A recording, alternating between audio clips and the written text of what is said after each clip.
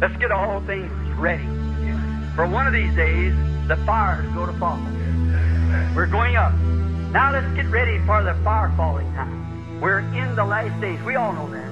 And we're ready for the coming of the Lord. The thing to do is separate yourself from all sin. Separate yourself from anything that pertains to the world.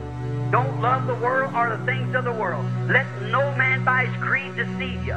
You stay right straight in the promise of God, the Word of God. And that Word, if it's a word for this day, God vindicates it so. If He doesn't, it's not the Word for this day.